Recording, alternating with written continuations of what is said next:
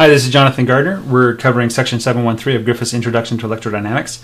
This is the second part of the section. Um, the first part, we, we calculated the EMF um, caused by the magnetic field, or if you like to think of it as the force of the pole. And now we're going to calculate EMF in one different way. And the way we're going to do this is we're going to start with the magnetic flux. Okay, and the flux, capital phi.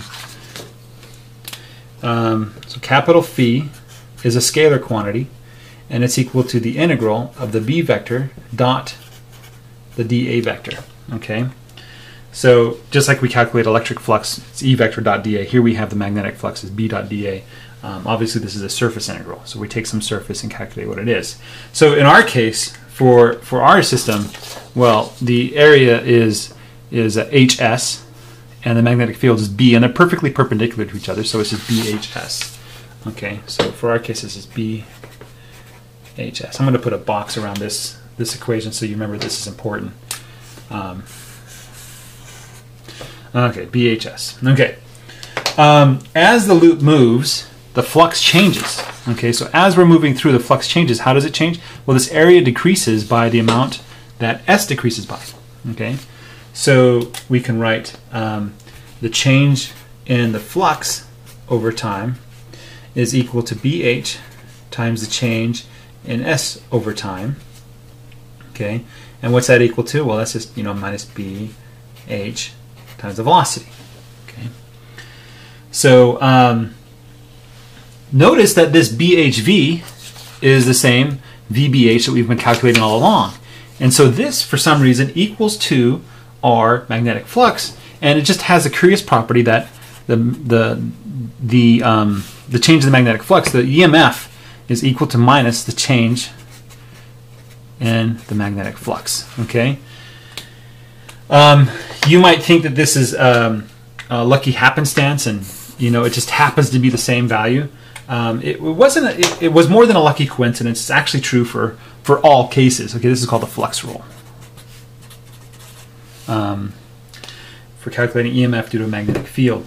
Okay, we're gonna now. I'm gonna try to approach a very rigorous um, uh, proof that the EMF has to be the change in the flux over time.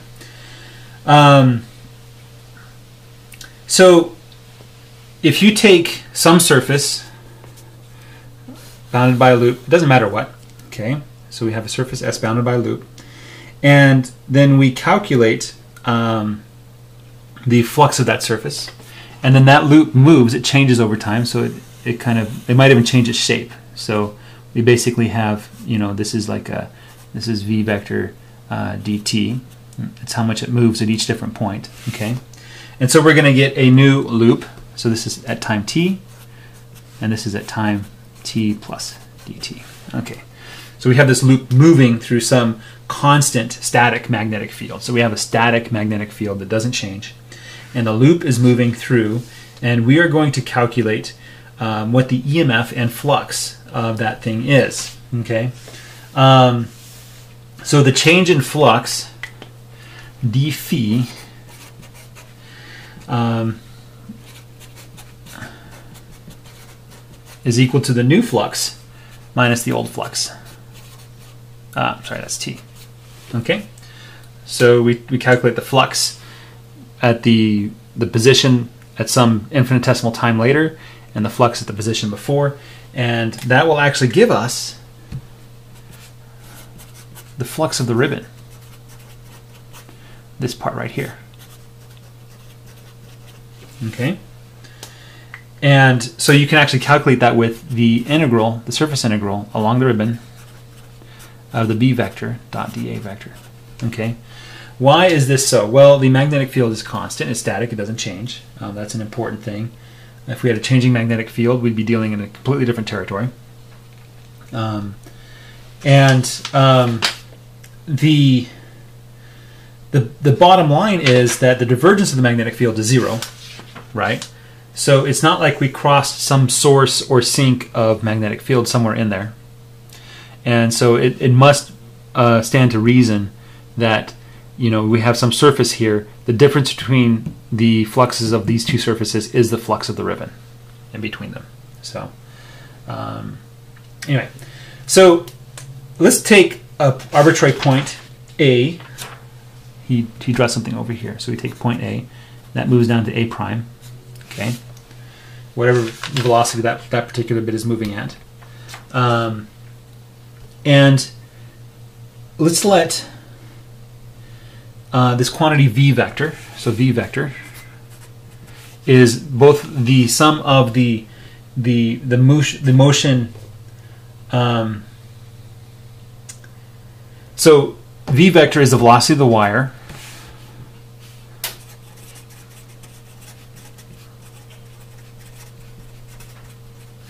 Uh, u vector equals the velocity of charge along wire that's current and then w vector is equal to v vector plus u vector that's the actual motion of any charged particles in the loop. Um, the um, infinitesimal area unit. Okay, so he draws this. This is called this dA vector. Is going to be equal to um, v vector cross dl vector times dt. Okay, so this is dl vector. Okay, times dt. dt is the uh, vdt is the height there. Uh, dl is the the width of that particular segment. Okay, um, and so the flux, the change in flux over time, d phi by dt is equal to uh, the closed surface um, b vector dot v vector cross dl vector. Okay. Uh, the change in flux. Um, we can rewrite this.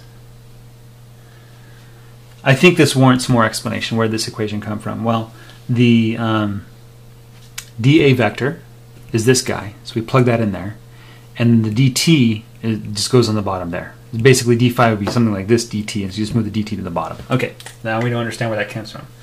Um, running out of paper, but that's okay. Um, let's substitute in w equals v plus u. Okay, and we'll note that since u is parallel to dl vector, so the cross product of the u is going to be zero. So we can write this as d phi by dt equals um,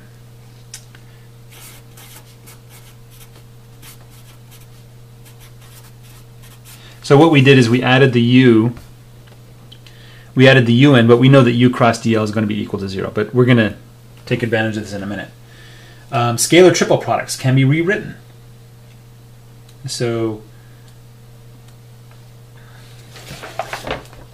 flip to the the front of your book and you see that A dot B cross C is equal to B dot C cross A is equal to C dot A cross B. So you can move things around as long as you maintain the order. If you flip the order, you have to invert the sign. Okay, they're equal to negatives of each other. So we're going to move things around and then we're going to flip the order. So we're going to put uh, negative W vector cross B dot DL vector. Okay, trailer, this, this triple product right there. Um, that's d phi by dt. So what is this w cross b thing? Well, w was the total velocity. It's how the, the charge moves, both along the wire and and as the wire is moving. Um, that is the magnetic force per unit charge F magnet. That's the actual magnetic force. Okay, so we can rewrite this as uh, d phi by dt is equal to the F magnetic dot dl vector. Okay. Um, and this is just the EMF, right? So we've done it. We've proved conclusively that the change in flux over time is the same thing as the EMF of the loop. So we're done. Oh, we forgot a negative sign. Negative, negative EMF. So E equals negative the, the, the magnetic flux or the change in magnetic flux over time. Um, this is a nifty shortcut, but it doesn't work for every case. And example four is a good example of where it doesn't work. Um, so you have to go back to using forces and everything to figure out what happens. Example four looks like this. So um, do I have time? No, I don't. Okay, I'll do example t- uh, example four next. Thanks for your time. Bye.